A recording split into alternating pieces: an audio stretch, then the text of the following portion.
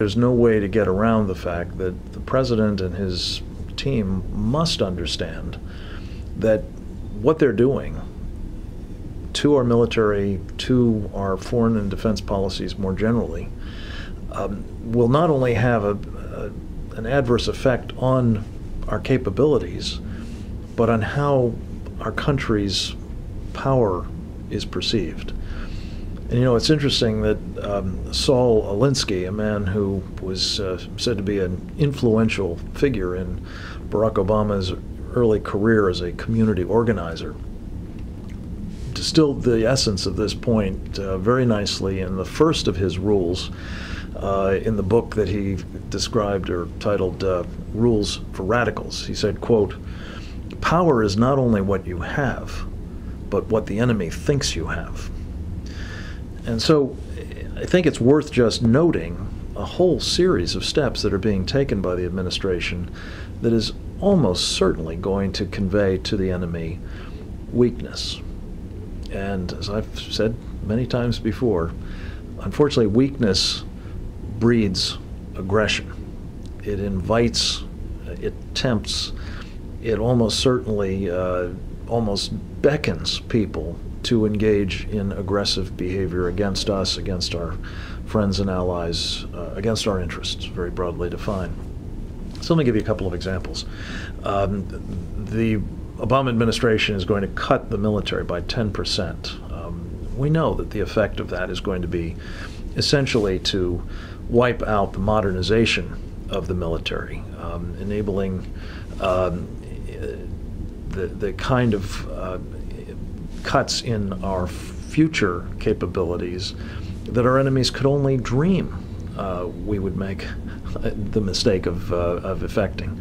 Um, we will even see, I think, given the very substantial chunk of the defense budget that is now in fixed costs, as they call them, they're actually growing, for personnel, that the money is simply not going to be there even to rehabilitate the kind of equipment that we've been using in today's conflicts, let alone prepare for tomorrow's.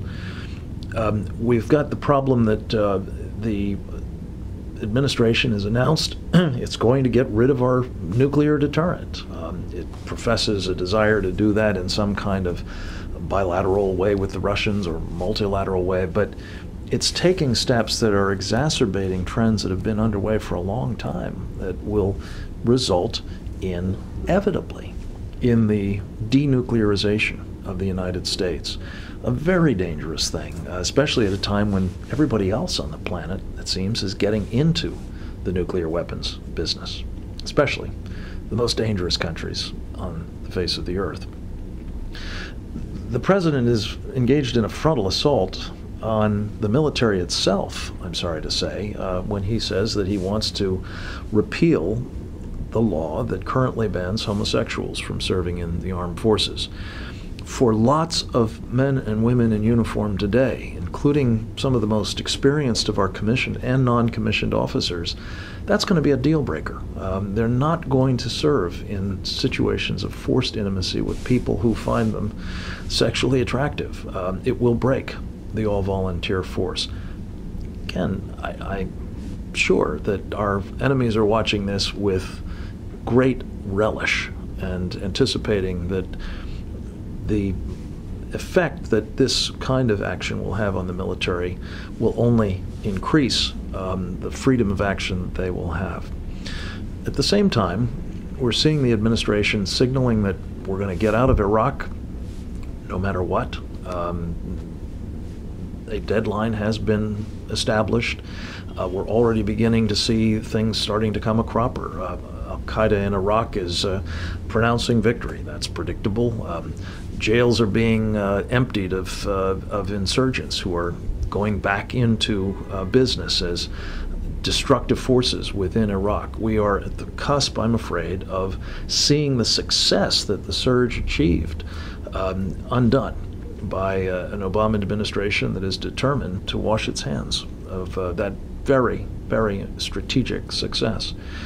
Similarly, uh, despite the surge of 17,000 troops, um, the signals coming out of the administration are that we're really not going to be in the Afghan campaign for very much longer. There's talk about finding moderate Taliban, as if there is such a thing, that we can turn the place over to. Um, not auspicious uh, for friends of the United States. In fact, I think it's pretty clear that under the Obama administration, you're better off being an enemy of this country than one of its friends.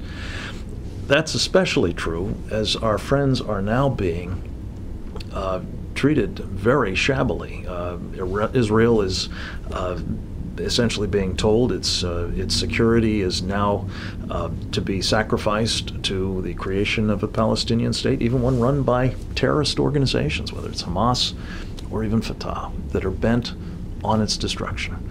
Um, the Brits are being told the special relationship uh, no longer applies. There's nothing special about Britain, um, and they shouldn't expect to be treated in a special fashion. Um, we're uh, we're watching others around the world, uh, from India to Colombia, um, being given sort of the uh, the back of the hand treatment by the administration in ways that I, I think not only are gratuitously offensive, but are discouraging um, and alienating uh, at a time when we need all the friends we can get. Meanwhile, the administration is frantically trying to court um, every rogue state, every terrorist sponsoring nation, every actual or prospective enemy we have, uh, with promises of normalized relations, with uh, commitments of uh, concessions of one kind or another, uh, with the hope that uh, they will prosper from the kind of uh, preferential treatment that they've not enjoyed until now, and for good reason. The cumulative effect of all of this, I'm afraid, as Saul Alinsky would have said, is that our own power is being diminished and the perception of our power is being reduced even further. Sadly, that will give rise to greater dangers for this country, not a more secure and prosperous world. Thanks for listening.